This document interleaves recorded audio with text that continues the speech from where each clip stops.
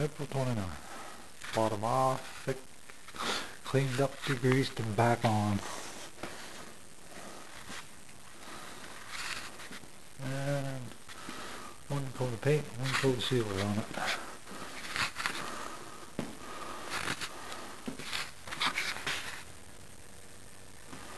Ready to be let down and turned over and put up on the other side. And get the start all over.